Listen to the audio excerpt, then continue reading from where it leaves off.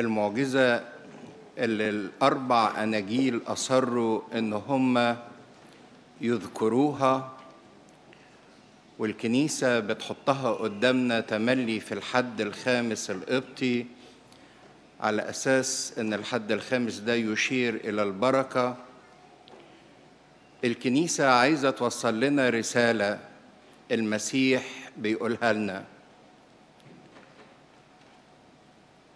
ما كانتش المعجزة مجرد إن الناس جاعت والمسيح سد الجوع بتاعهم والموضوع انتهى على كده لأنهم بعد ما أكلوا أكيد تاني يوم رجعوا جاعوا. لكن المسيح كان عايز يعلن سر. عشان كده هذه المعجزة ذكرت في الأناجيل الأربعة وذكرت بتفصيلات مختلفة من زوايا مختلفة.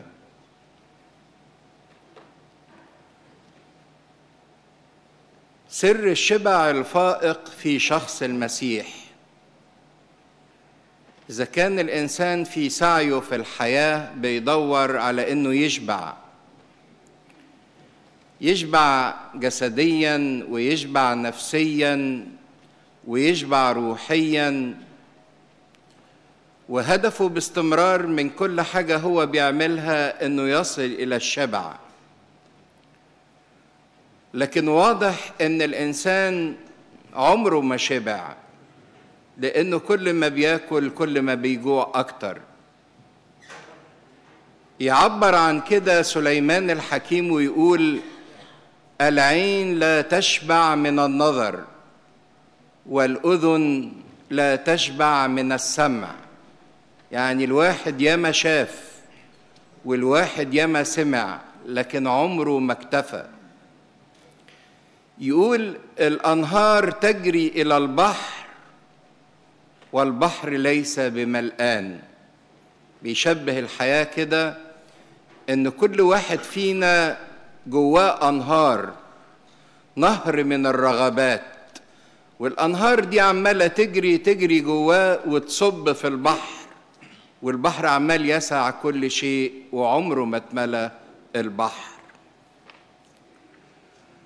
لكن السيد المسيح في هذه المعجزة عايز يعلن شيء مهم إن فيه هو سر الشبع الفائق اللي يقدر الوحيد إنه يشبع الإنسان. وأعلن هذا الإعلان بعد هذه المعجزة يقول كده من يقبل إلي فلا يجوع من يؤمن بي فلا يعطش. لما ترنم المرنم في المزمور وقال الرب لي راعية فلا يعوزني شيء فيه غدت كفايتي. المسيح هو الوحيد اللي يقدر يسد احتياج الإنسان وكفاية الإنسان. حتى لو كانت الظروف كلها ضد الإنسان وتقول إن الإنسان ده مش ممكن يشبع.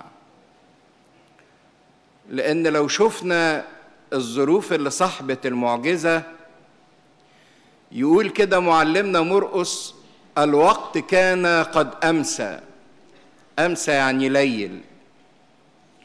معلمنا لوقا يقول كان النهار قد بدأ يميل. يميل يعني ينتهي. الزمن ليل. يعني ما فيش محلات فاتحة. ويقول كان الموضع قفر. قفر يعني صحراء. قفراء مقحلة. مش ممكن يكون فيها أي خير. فلا الزمان مناسب ولا المكان مناسب قدام احتياجات الناس. والزمان والمكان هما الحاجتين اللي بيحدوا الإنسان وبيعادوه.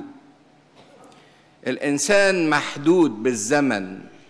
أنا محدود بامبارح ودلوقتي وبكرة. ولما يبقى ماضي الإنسان ماضي أليم وحاضره صعب ومستقبله مجهول الإنسان بيقع تحت سلطان الزمن ويخاف من الزمن. يا ترى بكرة هيحصل فيه إيه؟ والمكان أيضا يحد الإنسان. أنا موجود في أمريكا مش ممكن في نفس الوقت أكون في مصر. لأن المكان بيحدني. والزمان والمكان هما اللي بيحدوا إمكانيات الإنسان. تلاقي الإنسان عمال يجري من هنا لهنا عشان يلحق هنا ويلحق هنا ومش ملاحق وقلقان وتعبان إنه عنده ميعاد ومش قادر يلحقه. لأنه محدود بالمكان ومحدود بالزمان. لو الفرصة عدت منه مش ممكن ترجع تاني. فالزمان والمكان بالنسبة للمعجزة اللي حصلت كان الزمان سيء الوقت أمسى مش هيقدروا يجيبوا لهم أكل من حتة حتى لو فكروا إنهم ممكن يشتروا. المحلات قفلت الوقت عدى.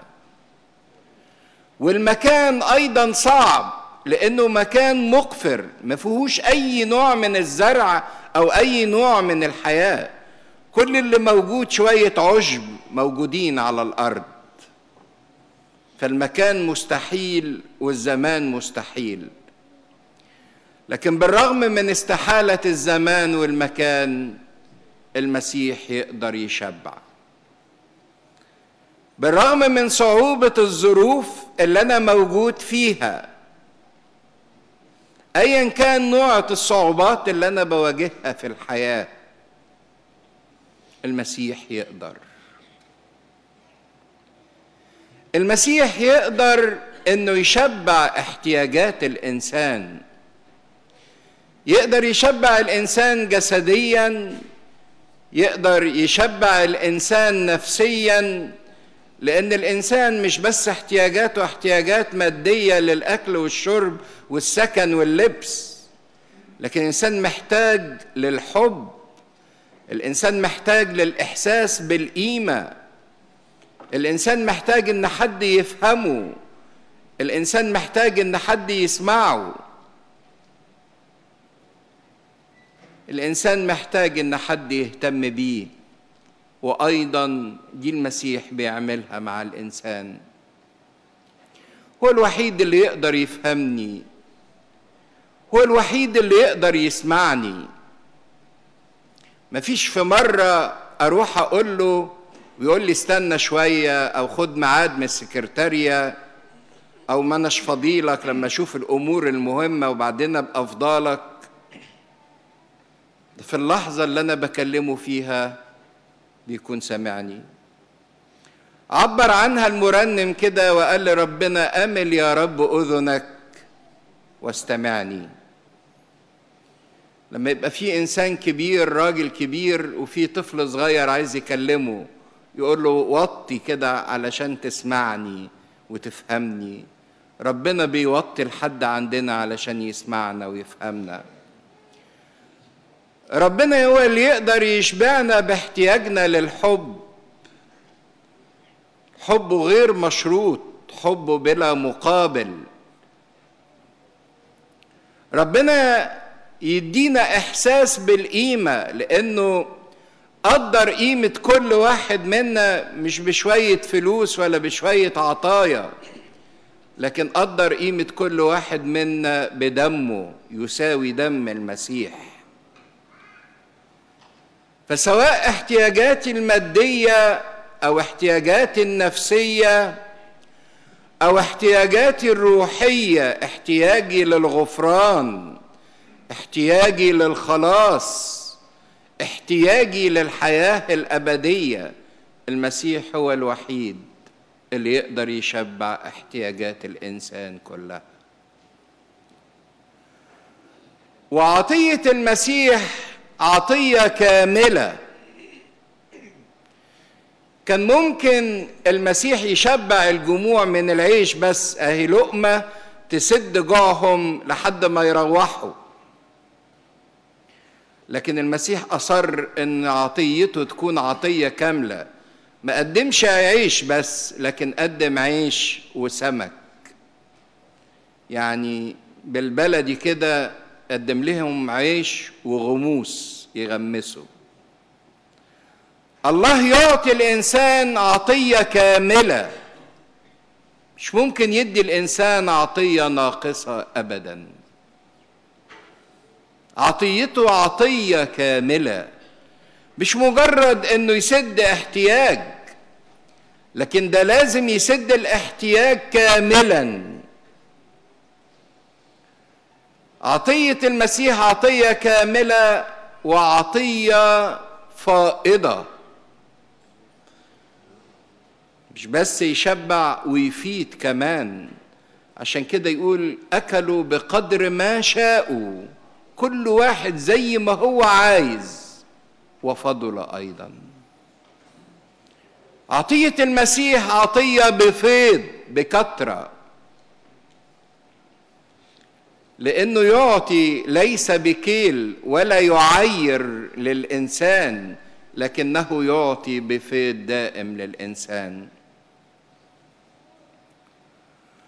وعطية الله أيضا للإنسان عطية رائعة الجمال. يدي الإنسان بطريقة تحفظ أدميته وتحفظ كرامته. كان ممكن زي ما بنعمل إحنا هنا في المجتمعات يقول اللي جعان وعايز يجي يقف في الطابور. وما أسهل الناس تتحط تترص في الطابور. بس تخيلوا اللي هيكون نمرة خمس تلاف ده عقبال ما يوصل الدور ليه يكون إيه؟ مات. لكن المسيح ما عملش كده. المسيح قال للتلاميذ اتكؤوهم. قعدوهم ريحوهم والأكل يوصل لحد عندهم. خدمة five stars زي ما بيقولوا. مسيح لما بيديني بيديني عطية تحفظ كرامتي. ما قالش اللي عايز يقف في الطابور ولازم يقف ساعتين ثلاثة عشر ساعات غصب عنه لازم يتعلموا النظام.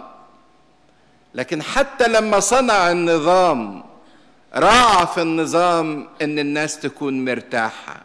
اتكؤوهم قعدوهم ريحوهم. فالله يعطيني ويعطيني براحة. بطريقة تناسبني. المسيح مش بس مشبع. لكن مشبع رائع.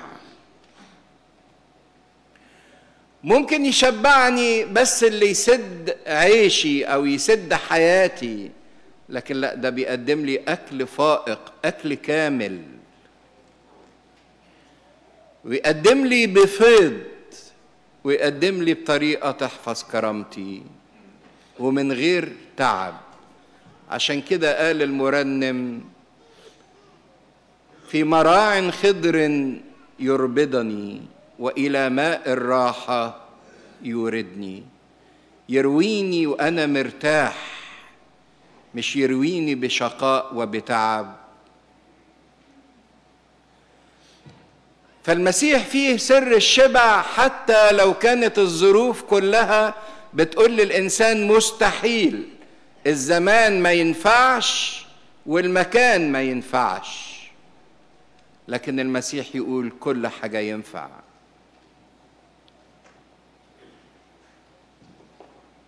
المسيح فيه سر الشبع الحقيقي وأيضا فيه سر البركة.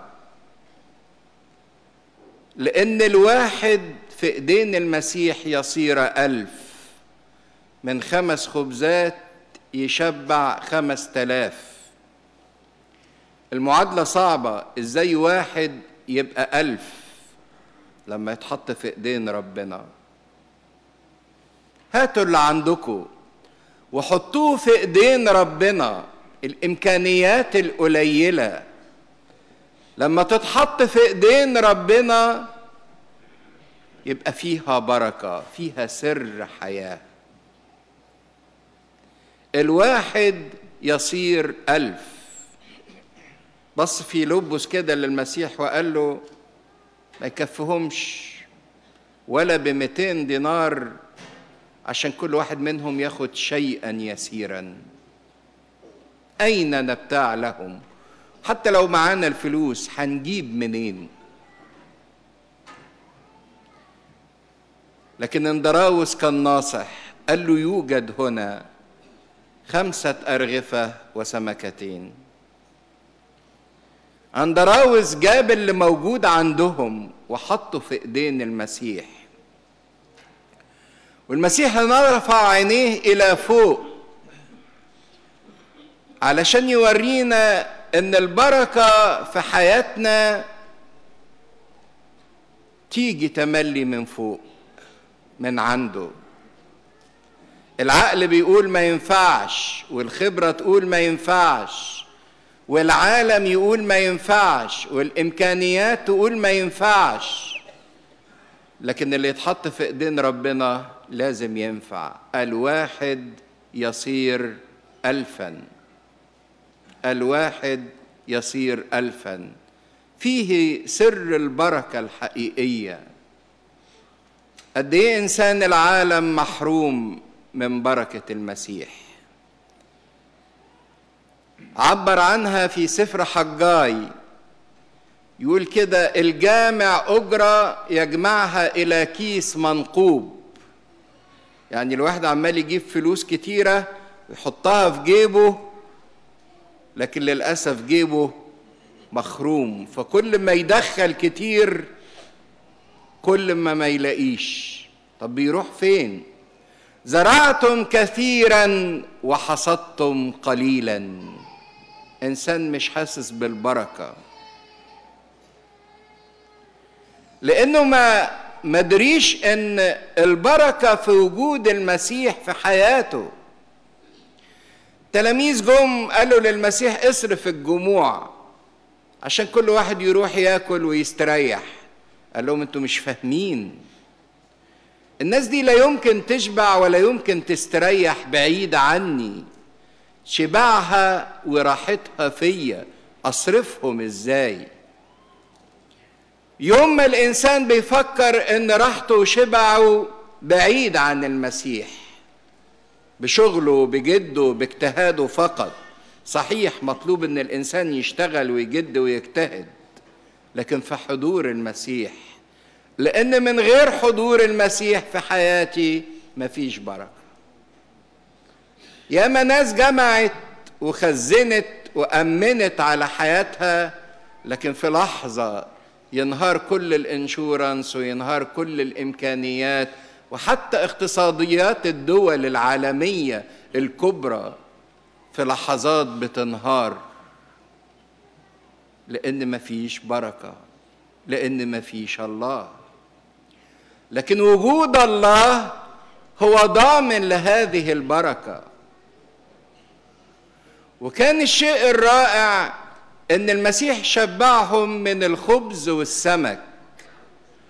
وكل من الحاجتين دول يشيروا إلى المسيح. الخبز قال عنه كده المسيح أنا هو الخبز الحي النازل من السماء. وإحنا بنتناول من جسد ودم ربنا الشمامسه بيرتلوا لحن بيقويك خبز الحياة النازل من السماء. فخبز الحياة ده إشارة إلى المسيح. المسيح هو لقمة العيش بتاعتنا. لما بيقولوا الخبز ده لقمة عيش يعني اللقمة اللي الإنسان بيعيش بيها المسيح أيضا لقمة العيش اللي بنعيش بيها الحياة الأبدية. من غيرها ما يقدرش الإنسان يعيش. مسيح هو الخبز الحي النازل من السماء.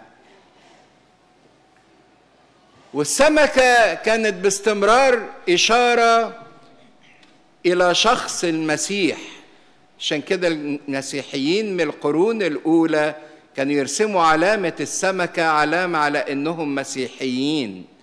لأن كلمة سمكة باليوناني إخسوس اللي هي اختصار كلمة إيسوس إخريستوس يوسيوس سوتير يعني بالعربي يسوع المسيح ابن الله مخلص.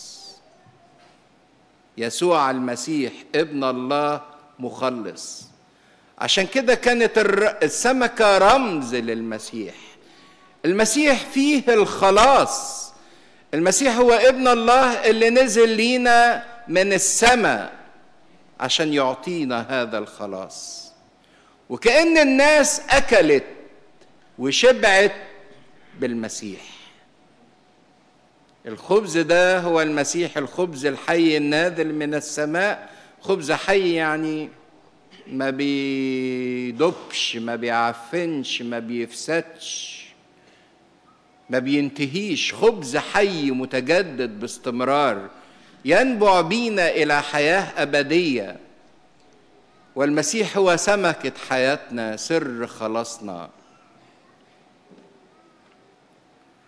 عشان كده في البولس النهارده في رسالة العبرانيين بولس الرسول يقول لنا إن المسيح ده جاء على طقس ملكي صادق. ملكي صادق ده اللي يقدم خبز الحياة حياة أبدية.